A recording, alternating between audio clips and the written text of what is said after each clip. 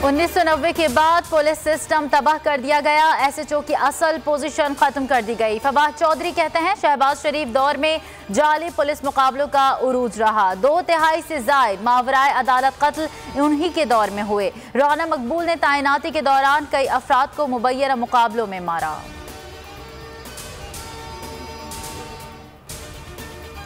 Sindh local government तरमीमी act का मुसवदा गवर्नर को अरसाल इमरान इसमाइल के एतराज़ा के बाद बल्दियाती कानून में तरामीम की गई।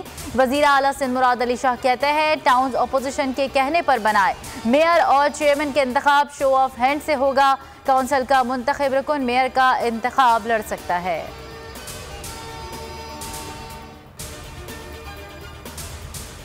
शहरियों के लापता हो जाने का जिम्मेदार चीफ एग्जीक्यूटिव होता है। क्यों न तमाम चीफ एग्जीक्यूटिव पर आर्टिकल छह लगाकर ट्रायल शुरू करा दें। इस्लामाबाद हाई कोर्ट के मुदसर नारो गुमशुदगी केस में remarks chief justice Athar Minallah ने कहा, रियासत कहीं मौजूद हुई तो मुदसर नारो की फैमिली अदालत क्यों आती? हमें क्यों कहने की ज़रूरत पड़ती? वज़ीर आज़म के नोटिस में लाएँ, लापता अफराद कमीशन का जो असल काम था उसने नहीं किया। अदालत आकर तमाम इदारे कहते हैं, कुछ पता नहीं बंदा कहाँ है। नौ साल तक चीफ एग्जीक्यूटिव रहने वाला किताब लिखकर लापता अफराद का क्रेडिट लेता है। राना शमीम को एक और मोहलत मिल गई। आइंदा पीर तक बयान हल्फी जमा करा सकते हैं। Chief justice Islamabad high court ने रिमार्क्स दिए। अदालत को मुतमिन करें। क्यों न तोहिन अदालत की कार्रवाई को आगे बढ़ाया जाए। अटॉर्नी जनरल की राना शमीम पर फर्द जुर्म आयद करने की सदा कहा शवाहिद हैं। बयान हल्फी राना शमीम ने खुद लीक किया। मीर शकील, अंसार अब्बासी, आमिर गौरी से भी बयान हल्फी तलब। वज़ीर अजम इमरान खान लाहौर के लिए रवाना। महँगाई और अमन अमान की सूरत हाल पर इजलास की सदारत करेंगे। सेहत कार्ड प्रोजेक्ट की तकरीब में भी शिरकत करेंगे।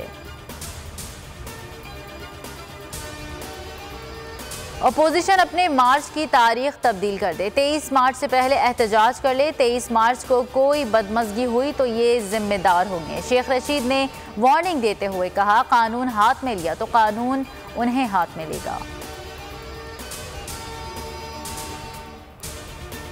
कोयटा में यंग डॉक्टर्स का आज वज़ीर अला हाउस के घेराव का ऐलान। सिविल अस्पताल से रैली की सूरत में सीएम हाउस तक जाएँगे। अस्पताल के दाखिले और खारजी रास्ते बंद, रेड जोन की सिक्योरिटी भी बढ़ा दी गई। कहते हैं गिरफ्तारियों के लिए तैयार हैं। अगर गिरफ्तारियाँ हुई तो इमरजेंसी सर्विस का बाइकआउट कर देंगे।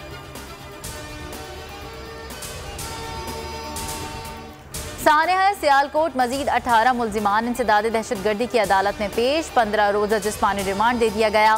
मुलजिमान को 28 दिसंबर को दोबारा अदालत में पेश किया जाएगा।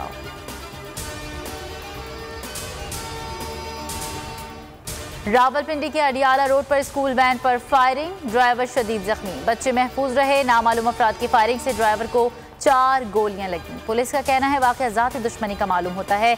सीसीटीवी फुटेज से मदद ली जा रही है।